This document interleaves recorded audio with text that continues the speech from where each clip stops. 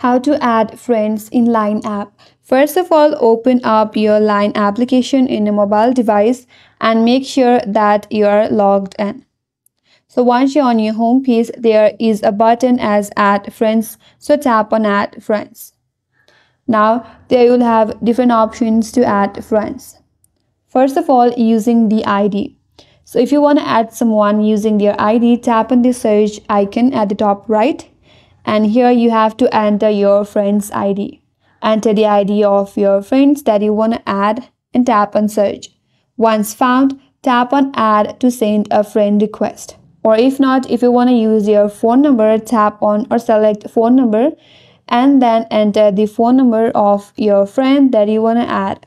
After that, again tap on add to send a friend request or if you want to use your QR code you can go back and there's an option as QR code tap on it.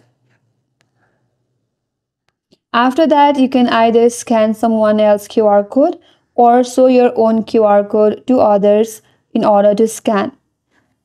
And in this way also you can add someone on Line so these are all the way to add friends on Line application and that's all for today's video Hope this video was helpful and if you are new to our channel, consider subscribing. Thanks for watching and stay tuned for more videos.